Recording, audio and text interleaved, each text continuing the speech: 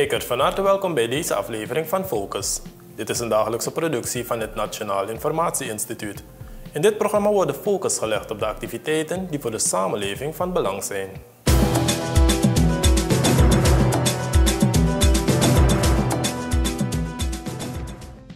Vandaag in Focus. Eerste geval van COVID-19 in Suriname.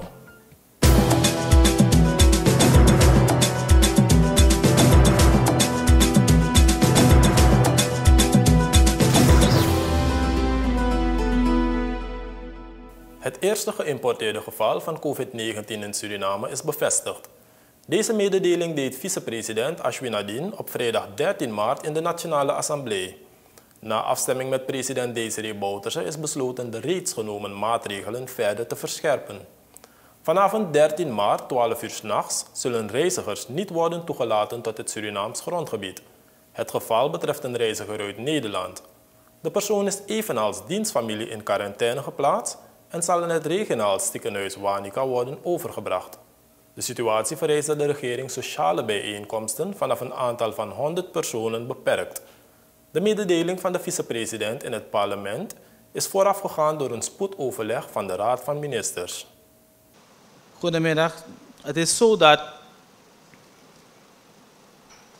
vandaag, vrijdag 13 maart 2020, is het eerste geïmporteerde geval van COVID-19 bevestigd door het Centraal Laboratorium van het BOG. Omstreeks 10 uur 15 vanmorgen kreeg het Bureau voor Openbare Gezondheidszorg de melding van een persoon met koorts, hoesten, hoofdpijn en lichaamspijn. De persoon was op woensdag 11 maart afgereisd naar Suriname met een reisgeschiedenis naar Nederland, dat is Rotterdam en Delft, waar er momenteel sprake is van actieve COVID-19-transmissie. De persoon, wordt, of de persoon werd vervolgens geïdentificeerd als suspect case, waarna het Quick Response Team een swab heeft afgenomen om te testen op COVID-19. De persoon is in thuis quarantaine geplaatst onder politiebewaking. Omstreeks 14 uur 45 werd de diagnose bevestigd. Onlangs zijn de patiënt en naast de familieleden op de hoogte gebracht van het resultaat en worden er maatregelen ondernomen om het risico van verspreiding in de gemeenschap in te dammen.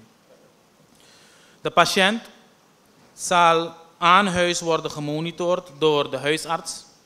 En indien de situatie verslechtert, zal deze worden opgenomen in de quarantainevleugel van het Wanica ziekenhuis, waar de nodige middelen voor behandeling van een COVID-19-patiënt beschikbaar zijn. Voorzitter, na afstemming met de president van de Republiek Suriname is besloten de verdere en verscherpte maatregel te treffen. Ook besloten tezamen met het Nationaal COVID-19 Management Team. De publieke gezondheidszorgvoorzitter eist van ons als verantwoordelijke beleidsmaker dat wij deze noodzakelijke beslissing moeten nemen. Vanaf zaterdag 14 maart 2020 om 00 uur zullen reizigers tot nader orde niet worden toegelaten tot het Surinaams grondgebied. Ten aanzien van ingezetenen, dat is zaterdag, dat is vanavond dus, zaterdag overgang 14 maart 2020 om 00 uur. Zullen reizigers tot nader orde niet worden toegelaten tot het Surinaams grondgebied. Ten aanzien van ingezetenen in het buitenland zullen afspraken gemaakt worden over hoe zij terug zullen keren naar Suriname. Periodieke evaluatie van 30 dagen zullen in mogelijke bijstelling van deze maatregel resulteren. We doen een beroep op de gemeenschap, voorzitter. Deze besluiten kunnen verstrekkende economische en sociale gevolgen hebben. Voor iedereen in ons land. Die gevolgen zullen echter veel minder dramatisch zijn dan een COVID-19-epidemie binnen Suriname. De situatie vereist ook dat de regering met onmiddellijke ingang sociale bijeenkomsten tot aantal van 100 personen beperkt. Elk leven is belangrijk, voorzitter. En de regering zal altijd zijn uiterste doen en zich inzetten om de voorzieningen te treffen ter voorkoming van wat zich tot op dit moment in andere landen voordoet. Ons medeleven en condolences gaan uit naar alle landen en slachtoffers die getroffen zijn door deze pandemie COVID-19. Wij vragen u meer dan ooit, meer dan ooit, om enkel en alleen de officiële berichtgeving te volgen door het Nationaal COVID-19 Management Team. Elke dag omstreeks 6 uur namiddag. En deze berichtgeving strikt na te leven. Indien er sprake is van koorts, kortademigheid, hoest, andere longproblemen, of hebt u recent een risicogebied aangedaan, bent u gelijk, belt u gelijk naar de hotline van BOG op 178. De regering deelt, deelt de mening van WHO dat het virus alleen met gezamenlijke inspanning en solidariteit kan worden bestreden. Er zijn nog wat technische zaken, voorzitter, maar op dit moment wil ik me tot hier beperken. Het is al meer dan een aankondiging genoeg. Ik zal, we zullen een officiële pressrelease met wat technische details omtrent uh, berichtgevingen van volksgezondheid en alles dan aan detail van deze maatregelen gehecht zijn, publiceren. Ik dank u. Goed, dank u, uh, vicepresident. Voorzitter, dank u wel. En uh, VP ook bedankt voor uw uh, informatie. Het is natuurlijk iets waar wij ja, mm, ja, niet gehoopt hadden dat het ons zou bereiken, maar de voorlichting en de informatie die we van het ministerie van Volksgezondheid hebben gehad, daarin werd al, uh, werden al zeg maar, zaken aan ons uh, voorgehouden die uh, dit moment zeg maar, voorbereid hebben. Um, ik wil vragen, als inderdaad gepraat wordt over 100 plus bijeenkomsten, die, moeten de, die zouden dus geadviseerd worden om dat dan af te zeggen.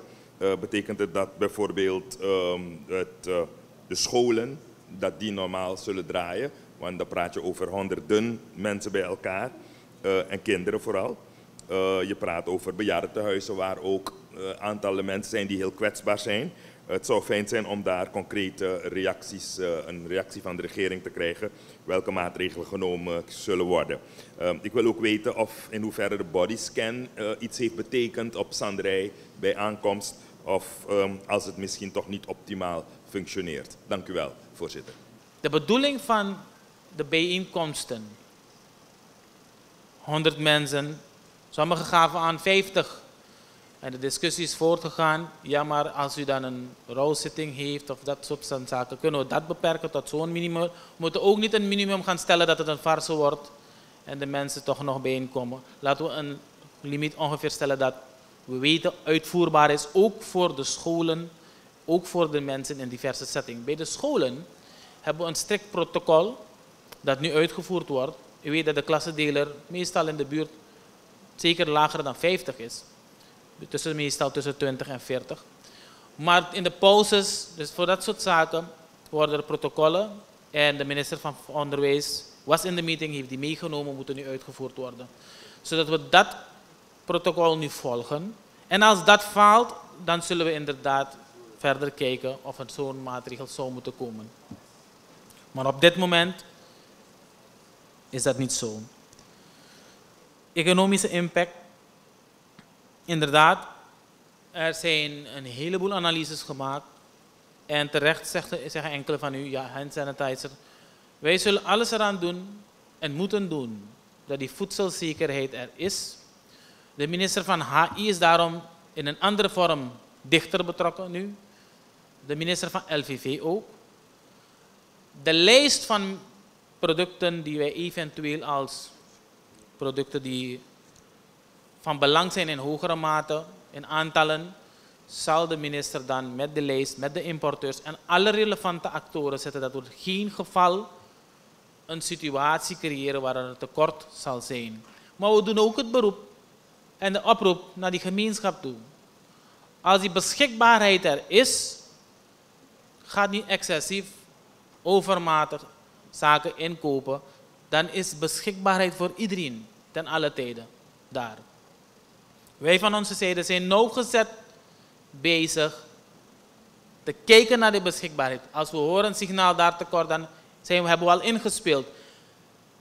Daarom ook dit nationaal management team opgeschild naar NCCR, HI voor die voedselzekerheid. En ook straks ga ik uitleggen over de voorlichting. Elke middag, 6 uur, volgt u de berichten. Er gaan hele duidelijke instructies gegeven worden en we vragen de mensen om het ook stringent op te volgen. Het gaat aan ons liggen, het participeren van niet boven 100. Het gaat aan ons liggen als wij die voorlichting volgen in plaats van fake news geloven. Het gaat aan ons liggen. Het gaat aan het collectief liggen, het gaat aan die solidariteit. Houd niet bij woorden in solidair zijn, in geest. Het is nu heel serieus, concreet. Gaat u niet met uw handen in uw gezicht.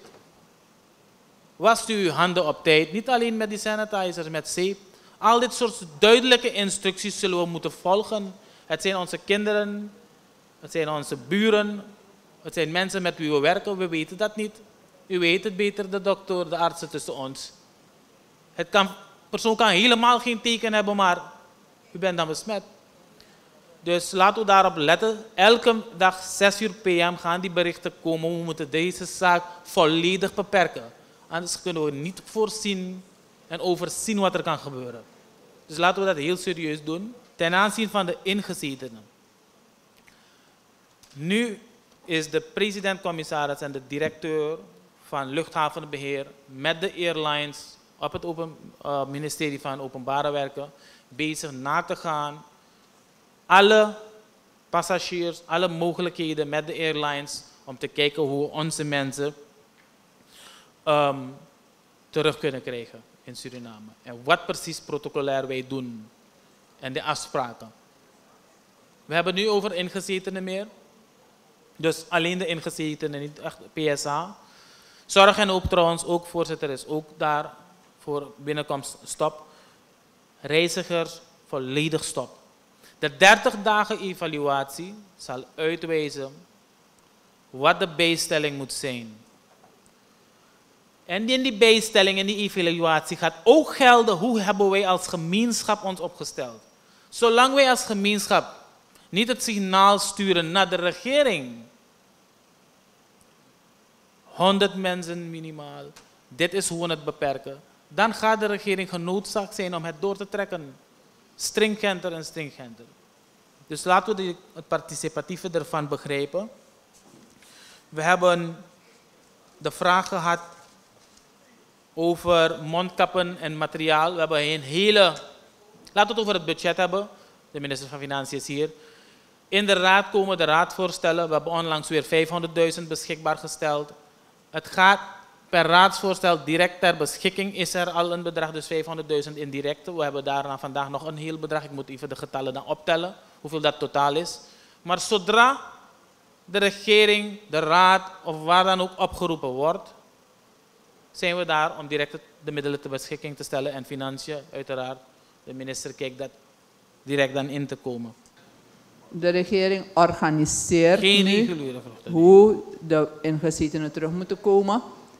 Uh, het geld eh, gaf u net wat aan daarover. Dat was wat we in de, net wat ik aangeef. Ik sprak met de minister van Financiën. Hoeveel is het totaal geworden? Hij zegt, elk alles dat we beschikbaar moeten stellen, stellen we beschikbaar. We hebben de eerste fase direct na de eerste week al 500.000 beschikbaar gesteld. En daarna zijn er raadsvoorstellen gekomen. En als ik het bedrag moet optellen, dan zou ik u dat even moeten onthouden Ja. op dit moment. Maar alles dat nodig is om direct in te grijpen, wordt direct voor zorg gedragen. Om 10 uur s ochtends, iets over 10 uur s ochtends, is er gebeld naar de lijn 178. Waarbij een mevrouw heeft aangegeven onwel te zijn. Daarop is er gereageerd omdat ze voldeed aan de case-definitie van een suspect case. Laat me dat even uitleggen. Een case-definitie is wanneer voldoet iemand om te zeggen dat die persoon vermoedelijk of mogelijk COVID-19 besmet zou kunnen zijn. Daarvoor moet je voldoen aan een aantal criteria. En deze mevrouw voldeed aan die criteria. Haar is toen haar medewerking gevraagd zich in thuisquarantaine te houden totdat de bewaking eraan kwam. De mevrouw is heel coöperatief geweest, heeft zelf ook aangegeven dat ze daarom heeft gebeld, omdat ze graag wil dat er naar haar gekeken wordt. Eh, het Quick Response Team is uitgerukt. Zoals we hebben aangegeven, hebben wij vanaf het begin de ambulance van de RGD als designated ambulance ingezet. En mensen zijn in de afgelopen tijden getraind geworden van de RGD hoe zij een swab moeten afnemen. Dat is het materiaal om te kunnen testen. Het gaat niet om een bloedtest, dit gaat om een slijmtest. Bij deze mevrouw is, het, is de swab afgenomen en in afwachting op het resultaat is zij dus in thuisquarantaine geplaatst, waarbij eh, de instructies zijn gegeven met zowel de bewaking erbij. De mevrouw is aan alle tijden zeer coöperatief geweest. Het resultaat is binnengekomen omstreeks iets voor drie uur. Uh, waarbij volgens protocol er meteen gehandeld is geworden. In de tussentijd was er al naar de contact tracing van deze mevrouw nagegaan. Dat wil dus zeggen dat de afdeling epidemiologie al was begonnen te kijken met wie deze mevrouw allemaal in contact zou kunnen zijn gekomen. Dat is inclusief de vlucht waarmee ze is gekomen, maar ook inclusief vanaf ze in Suriname is gekomen. Ze is 11 maart in Suriname aangekomen. Um, dat is dus twee dagen geleden. Met wie zij allemaal die twee dagen geleden uh, contact heeft gehad, close contact. Dat is nu nog steeds gaande. De mevrouw is in de tussentijd al door onze ambulance afgehaald en is gebracht geworden naar waar wij de isolatiezorg aan de mevrouw zullen verlenen. En dat is zoals wij ook meerdere malen hebben aangegeven in onze plan van aanpak. Het uh, ziekenhuis, de isolatieruimte van het Wanica ziekenhuis om specifiek daarin te zijn. Ja, kijk, uh, ik gaf het net aan. Als de instructie is niet meer dan 100, dan moet u nu gaan kijken, DC en actoren, van wie voldoet daaraan. Dat is niet zo moeilijk om te begrijpen welke cases wel niet. Maar iemand zou kunnen zeggen, luister, ik richt het anders in en dan wil ik toch. Dus de komende dagen gaat u dat die wisselwerking zien, toch? We gaan de mensen die verantwoordelijk gesteld zijn voor de uitvoering van deze maatregel, die gaan de test moeten doen voor deze groeperingen, toch? Voor deze mensen van voldoe je aan die case, kan je stringente voorwaarden aan voldoen of niet? Kun je niet voldoen en we hebben niet het vertrouwen dat je dat kunt doen, om die mensen te beschermen, dan hebben we een probleem. Ten aanzien van, uh, ongeacht of het nou politieke partijen zijn of huisver, of weet je, een thuiszitje of zo. Iedereen gaat hier aan moeten houden. Daarin, daarin gaan wij niet een, een, een, onderscheid maken, toch? Het is de uitvoering ervan dat wij moeten begrijpen van nee, wij moeten als gemeenschap ervoor zorgen dat wij niet bijeenkomsten van meer dan 100 doen. Hoe wij dat doen, kunnen we allemaal creatief genoeg zijn om dat op te lossen in plaats van creatief te zijn om het toch te organiseren. Nu is, de, nu, is de, nu is de taak, laat ook creatief genoeg zijn om het juist niet te doen. Toch niet te doen. Want je kunt voorstellen als dat ding begint te verspreiden. Hoe gaan we dat overzien dan? Dus laten we onze creativiteit en energie gaan stoppen en hoe we het moeten beperken. En als het voorbij is, is het voorbij kunnen we rustig doorgaan met andere dingen die we willen doen. We hebben aangegeven 30 dagen evaluatie. We hebben gezegd, als, de, als onze gemeenschap zich niet ready, of laten we zeggen, die weerbaarheid niet vergroot, toch? Om steeds te voldoen aan die 100, de instructies op te volgen, dan gaan we weer een 30 dagen verder. Dan gaan we weer een 30 dagen verder. Laten we het zo snel mogelijk beperken, zodat we can go back to life as it was. Dat is wat we willen. Dat is wat iedereen wil.